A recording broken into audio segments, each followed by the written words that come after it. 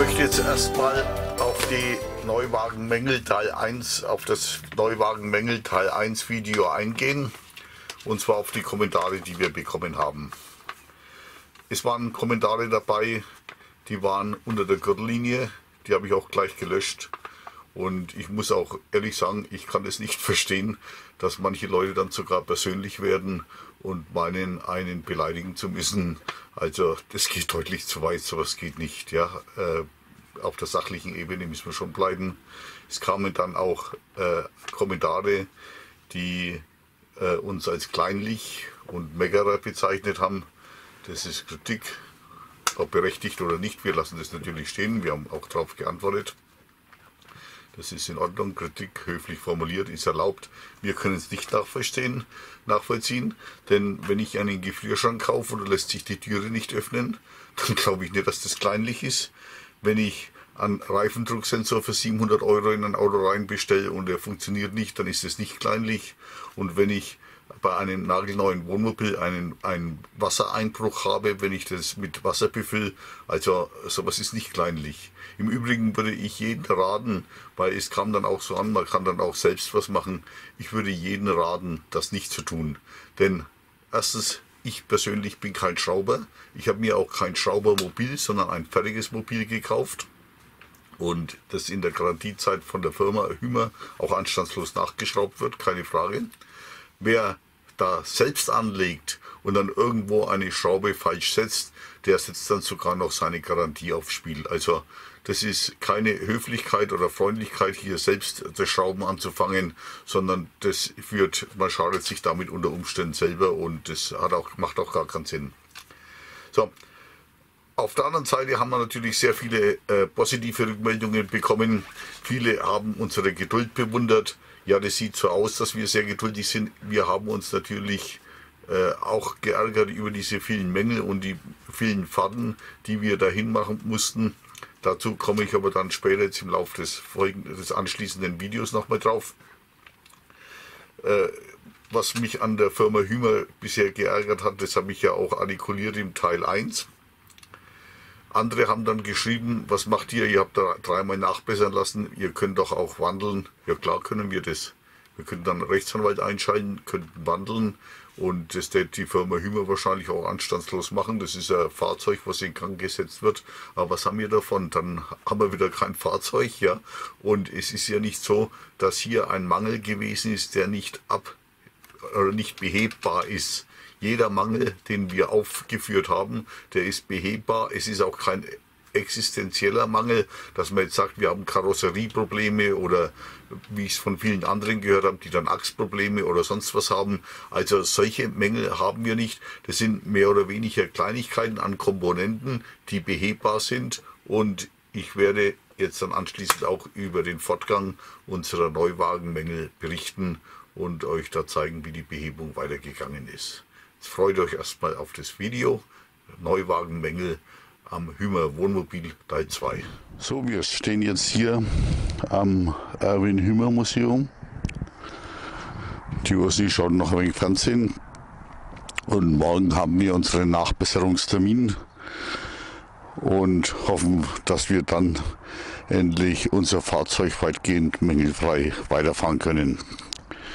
Die Nachbesserung wird dieses Mal nicht vom Verkaufsservice gemacht, sondern angeblich vom Hersteller Hümer. Also das sind ja zweimal Firma Hümer. Das eine ist die Firma Hümer, die die Wohnmobile herstellt. Und das andere ist die Tochter, die die Wohnmobile auch vertreibt wie ein Vertragshändler. Und wir hoffen, dass es jetzt zur finalen Nachbesserung kommt. Der Parkplatz ist schön leer. Im Gegensatz zur Reparaturstelle. Da ist alles voll und deswegen haben wir uns hierher gestellt. Nur die Straße, aber ich glaube nicht, dass sie uns stört. Die Straße ist jetzt in Hörweite und da üben ist das Produktionszentrum, wo Hümer steht.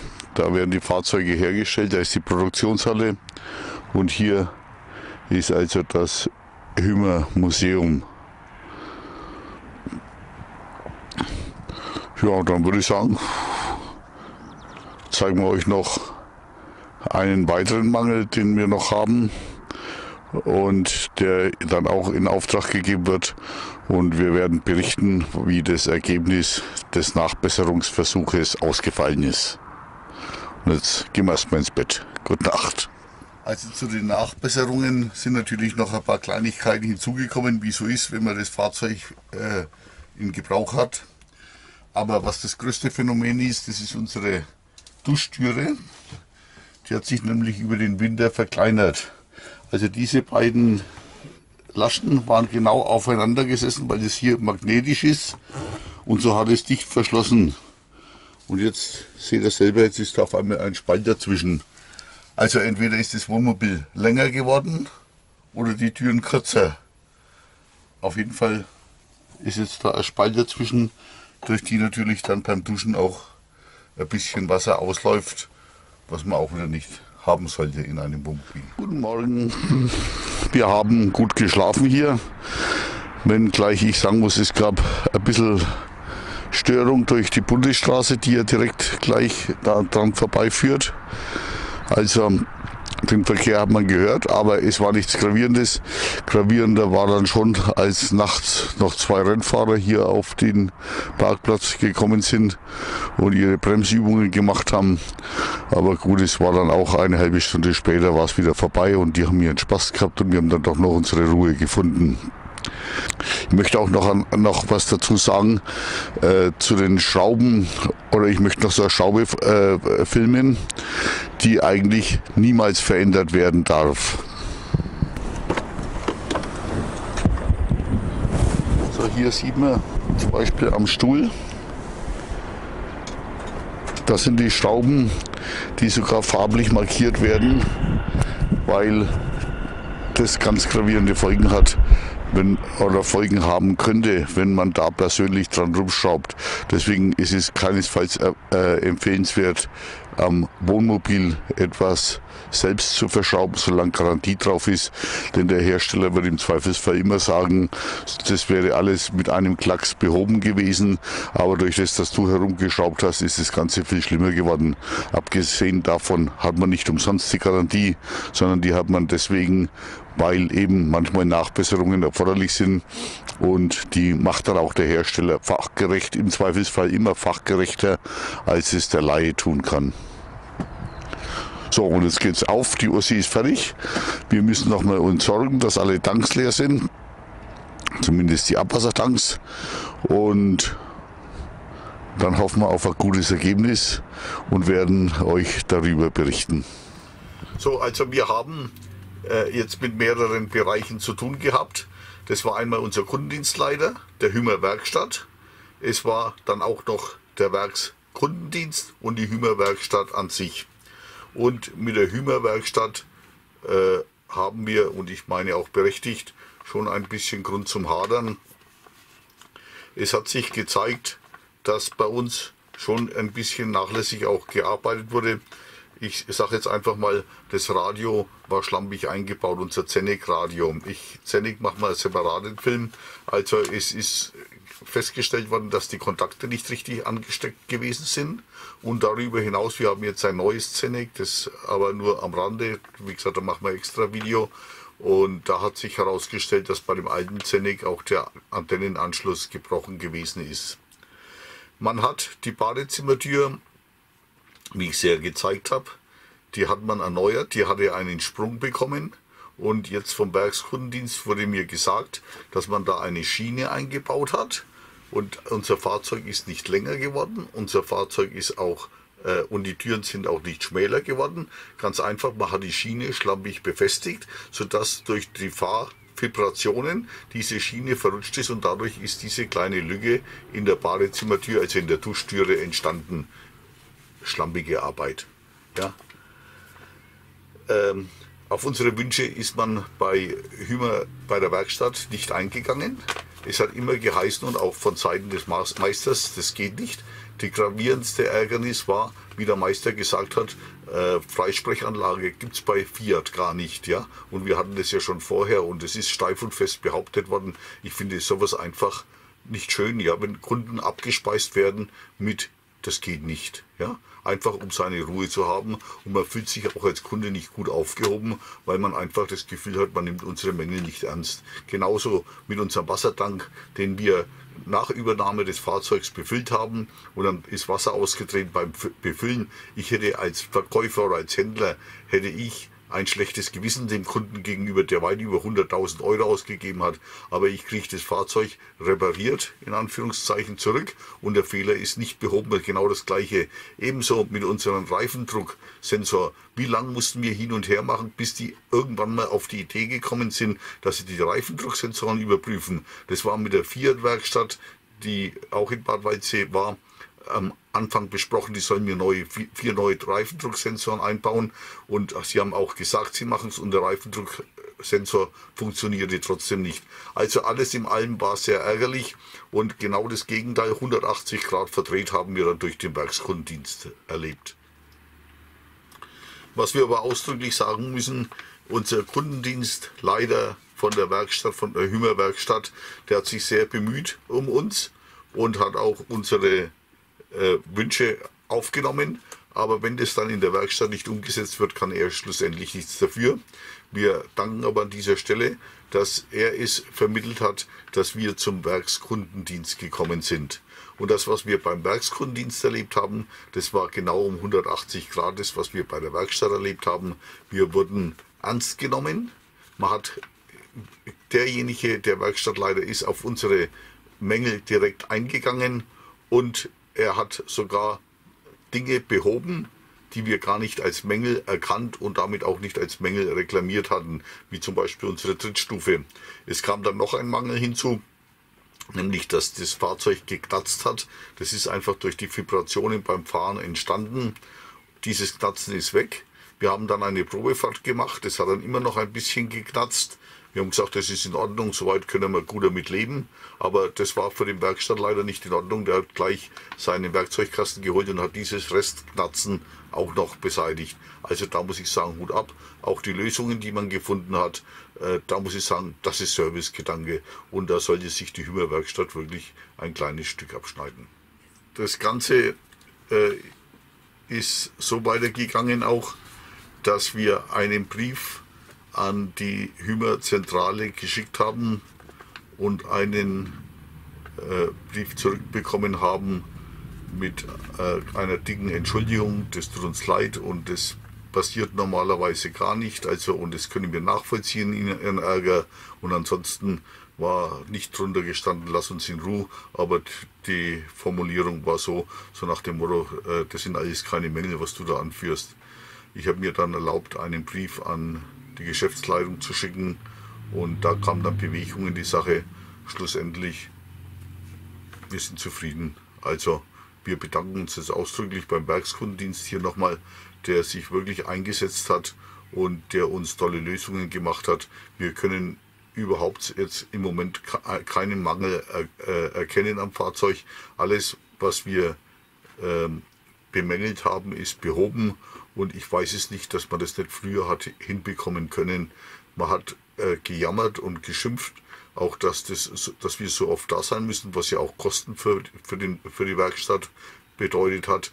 Äh, aber warum hat man dann die ganzen Sachen gleich gemacht? Es ist doch klar, dass wir dann nicht aufgeben, ja. Wenn berechtigte Mängel da sind, dann wollen wir die in Ordnung gebracht haben, ja. Und jetzt ist es ja gegangen. Innerhalb von ein paar Tagen war alles erledigt. Man muss nur wollen. Ja, vielleicht sollte man dann doch das Personal ein bisschen besser schulen. So, da sind wir bei unserer Dusche, unserer Duschtüre. Das habt ihr gesehen, der Spalt, der da gewesen ist, der Spalt ist weg. Beim Einbau wurde einfach die Türe schlampig an der Schiene eingebaut und es hat sich dann etwas auseinandergedriftet, ist erledigt. So, das Schneidebrett. Es hat geheißen, da gehört hier eine Silikonfuge herein und es gehört dann nach unten gesetzt.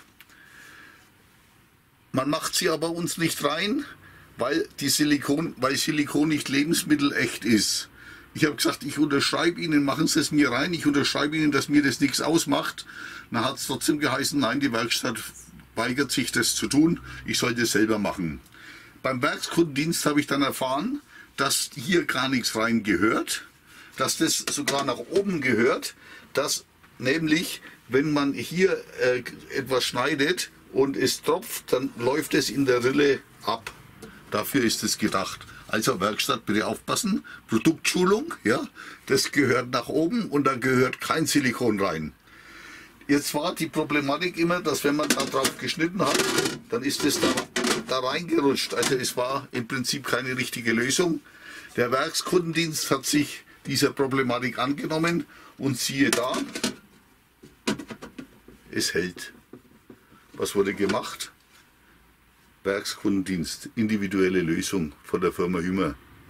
Werkstatt, so kann man es auch machen. Oder man kann sagen zum Kunden, es geht nicht. Das ist die Alternative.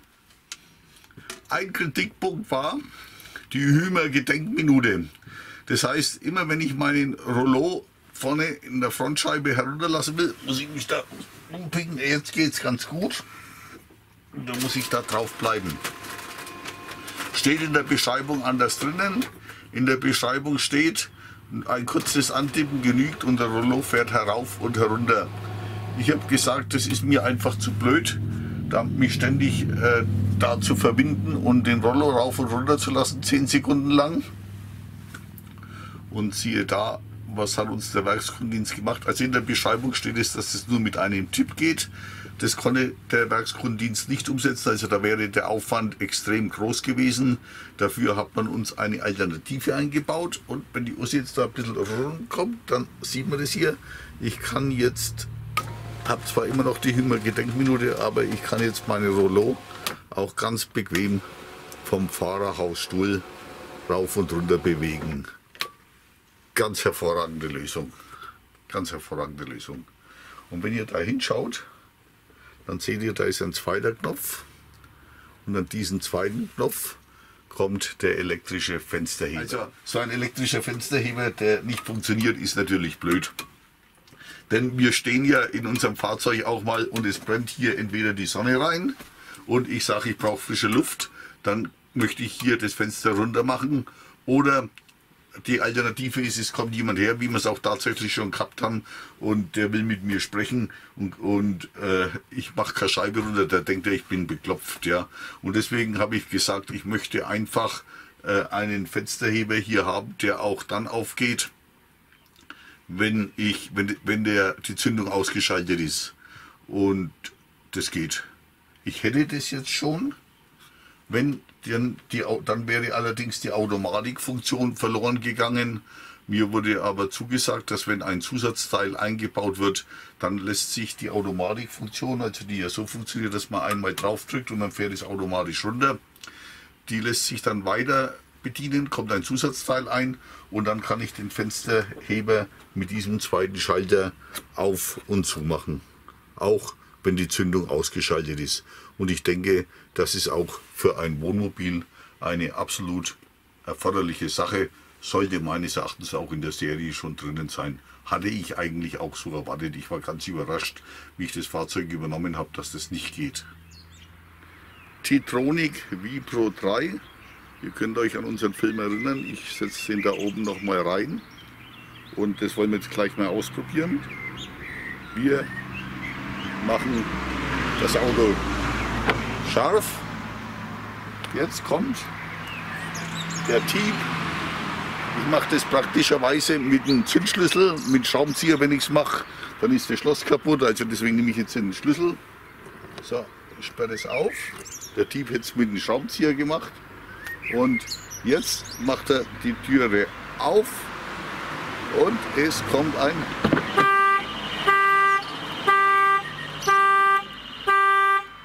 funktioniert. So muss eine Alarmanlage sein. Wir stehen zu 80 Prozent frei. Oder sagen wir mal 50 Prozent auf Stellplätze und 50 Prozent komplett frei. Und wir haben zu 80 Prozent keinen Strom angeschlossen. Und wir standen an einem Stellplatz, hatten Strom angeschlossen das steckte da drinnen und ich fahre los und habe zu spät dran gedacht, da ist ja Strom angeschlossen und schon hat es das Kabel rausgezogen von der Stromsäule und hier hat es einen kleinen Schaden angerichtet. Das Ganze hat trotzdem funktioniert, aber als das Fahrzeug beim Werkskundendienst war, habe ich darum gebeten, ob Sie mal nachschauen. Jetzt haben Sie mir hier ein komplett neues Teil eingebaut. Herzlichen Dank. Das ist einfach Service. Ja? Und muss ich wirklich sagen, ich bin sehr zufrieden. Als kleine Unterstützung habe ich mir jetzt folgendes gemacht. Ich habe mir jetzt da so einen roten Merkzettel geschrieben und immer wenn ich ein Kabel anschließe oder auf Keile fahre oder eben die Heckstützen ausfahre, dann lege ich mir das an meinen Dacho und ich hoffe, dass mir das kein zweites Mal passiert. Wir hatten vorher ja schon zwei Campingfahrzeuge, da ist es mir nie passiert.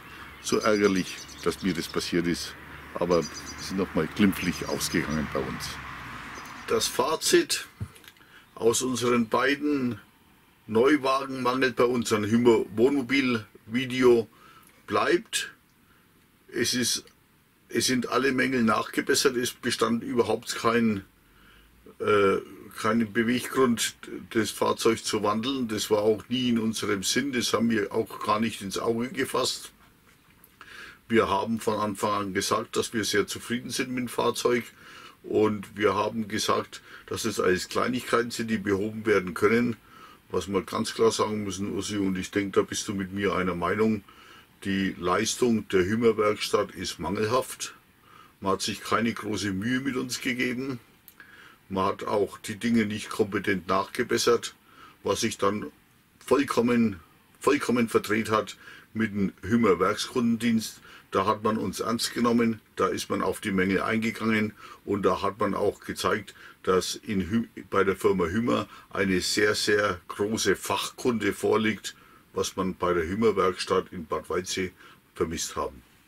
Willst du noch was dazu sagen, Ossi? Ein freundliches Wort zum Schluss? soweit hatte Helle natürlich vollkommen recht. Aber wir, ich, wir sind jetzt natürlich wirklich froh, dass jetzt endlich alles behoben ist und wir jetzt mit unserem Gustel wieder auf Reise gehen können. Ja, also dieser Aufwand für die eigentlich kleinen Mängel war total überflüssig, wäre nicht notwendig gewesen bei etwas mehr Mühe, bei etwas mehr Sorgfalt und ja, vielleicht auch bei etwas mehr Können. Aber jetzt sind wir zufrieden. Sehr. Und hoffen, dass es auch so bleibt. Jo.